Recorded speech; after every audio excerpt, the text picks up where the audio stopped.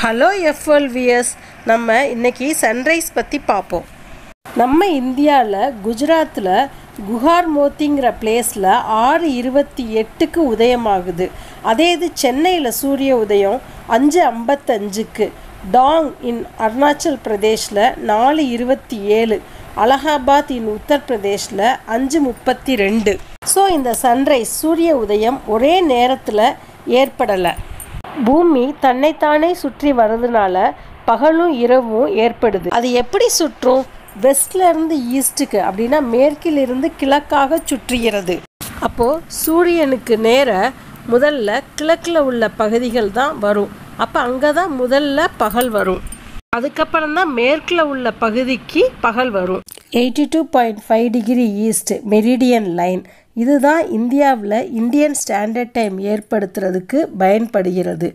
இந்த கோட்டில் சரியாக செங்குத்தாக சூரியன் நிற்கும்போது தான் டுவெல் நூன் நமக்கு ஏற்படுது. இந்தியா பெரிய நாடு அதனால நமக்கு சன்ரைஸ் டைம் டிஃப்ரென்ஸ் நல்லா தெரியுது. ஸோ வாங்க இப்போ இந்த டைம் டிஃப்ரென்ஸ் பற்றி பார்ப்போம். அருணாச்சல் பிரதேஷில் டொங்குற பகுதியோட meridian ninety seven point zero two degree east பொதுநேர meridian eighty two point five degree ஈஸ்ட்னு பார்த்தோம். பதினாலு டிகிரி வித்தியாசப்படுது.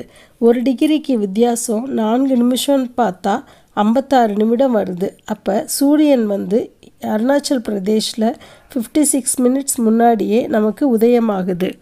அருணாச்சல் பிரதேஷில் உள்ள டாங் வில்லேஜை தான் இந்தியாஸ் லேண்ட் ஆஃப் ரைசிங் சன்னு சொல்லுவாங்க இந்த அழகான சூரிய உதயம் அங்கே தான் முதல்ல வருது. இதை ட்ரை ஜங்ஷன்னு சொல்லுவாங்க. இந்தியா சைனா மியான்மர் மீட் பண்ணுற இடம். வெஸ்ட் சைடில் Guhar மோட்டியோட meridian sixty eight point three degree. இங்கேயும் அதே ஃபிஃப்டி சிக்ஸ் மினிட்ஸ் தான் டிஃப்ரென்ஸ் வருது. ஸோ சன்ரைஸ் வந்து ஃபஸ்ட்டு அருணாச்சல் பிரதேஷ் அடுத்து உத்தரப்பிரதேஷ் அடுத்து தமிழ்நாடு அதுக்கப்புறம் தான் வந்து குஜராத். வீடியோஸ் ப்ளீஸ் சப்ஸ்கிரைப் பக்கத்தில் உள்ள பெல் ஐக்கானை கிளிக் பண்ணுங்கள் லைக் அண்ட் ஷேர் பண்ணுங்கள் கமெண்ட் பண்ணுங்கள் தேங்க்யூ பை